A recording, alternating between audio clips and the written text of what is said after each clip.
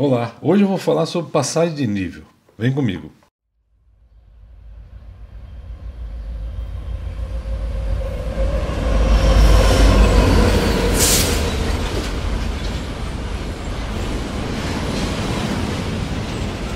É quando você tem aqui, ó, vou mostrar uma linha de trem que passa que você vai transpor por ela, vai passar por ela com seu carro ou a pé. Vamos analisar esse caso aqui, ó. Vou voltar esse vídeo um pouquinho e a gente começa a falar dos problemas que podem surgir caso você descumpra regras de trânsito no que se refere à passagem de nível.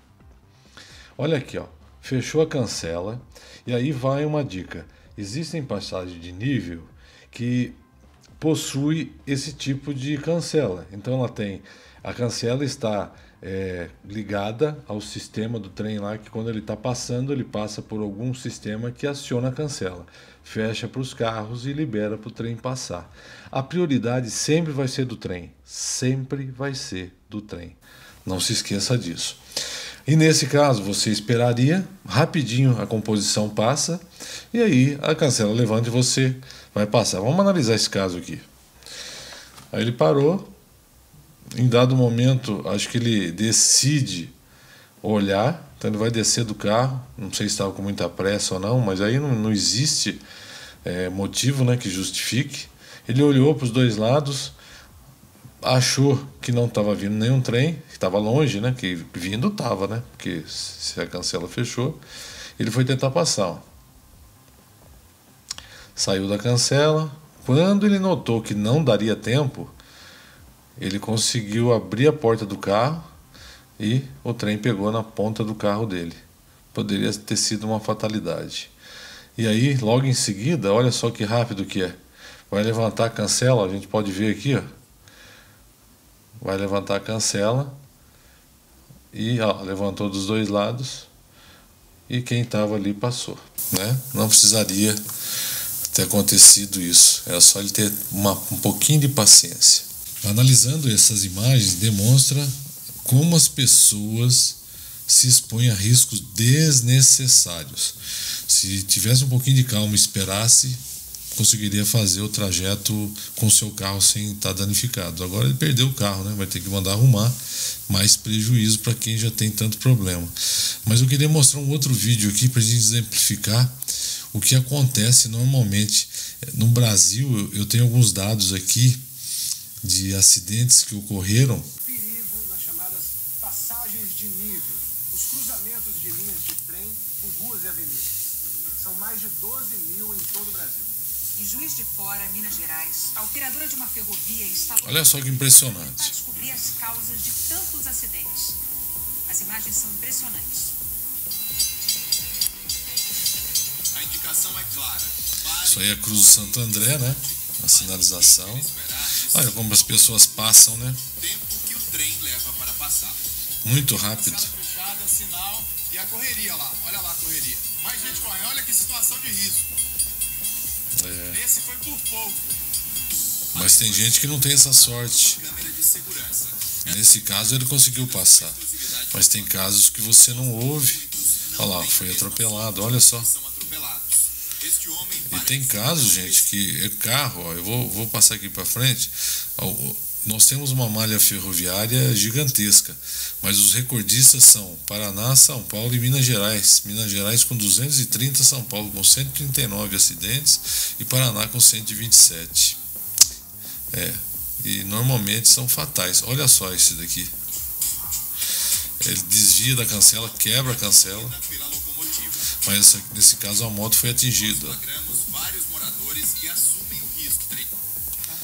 É isso aí. Esse não teve a sorte, esse menino. Perdeu o pé e metade da perna. Uma faixa livre que pelo menos 15 As pessoas se acostumam, tem essa faixa de servidão, mas em muitos casos não tem.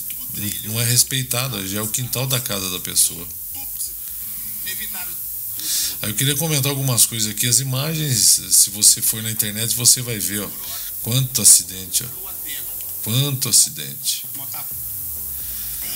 Olha, horrível. Mas eu quero dar algumas dicas aqui para nós.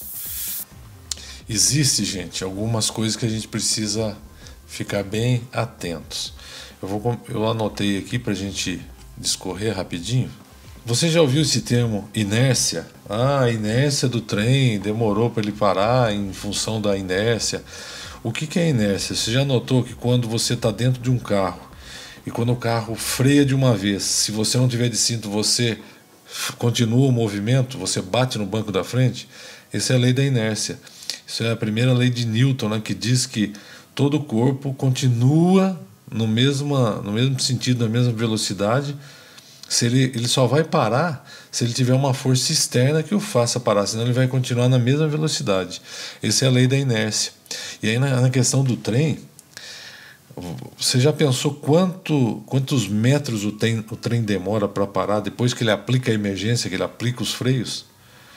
Olha, em média, eu fiz aqui uma pesquisa, a distância de frenagem, né? Um trem de mais ou menos de 90 a 120 vagões, numa velocidade de 85 km por hora, a partir do momento que o freio é aplicado, ele vai percorrer, sabe quantos? Um quilômetro e meio mais ou menos. Então ele não para na hora se tiver vazio, com pouco menos locomotiva e menos velocidade, talvez ele pare em 500 metros, em 400, mas muitas vezes ele vê o obstáculo e não consegue parar. Tá bom? Então, isso aqui é algumas dicas.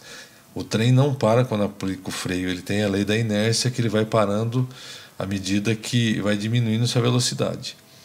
Então, muitas vezes você acha que o trem está longe de você só que o trem não faz barulho e tem essa ilusão de ótica. Você acha que ele está muito longe que vai dar tempo e não dá. Por isso, respeite as sinalizações. E no caso, se você for passar em locais que não tem a cancela, você tem que aplicar uma regra. Você para, olha para os dois lados para ver se não vem nenhum trem, conta um, dois, três, ouve para ver se não está vindo algum na curva, algum trem, e aí sim, se não vem trem, você passa. Nas empresas existe a telemetria. A telemetria é um sistema eletrônico que te avisa que logo à frente tem uma passagem de nível e quando você chega na passagem, você aplica essa regra. Você para, tem que parar o carro, não, não adianta dar aquela diminuída e passar. Para, ouve, olha dos dois lados, conta um, dois, três, e aí se não vem trem, você passa. Beleza? Essa é uma dica que vai salvar você, sua família, seus amigos, enfim, todos que vivem próximo a linhas de trem ou passam em passagem de níveis. Você sabe por que a gente faz tudo isso? Porque segurança é assim que se faz. E eu faço. Até o próximo vídeo.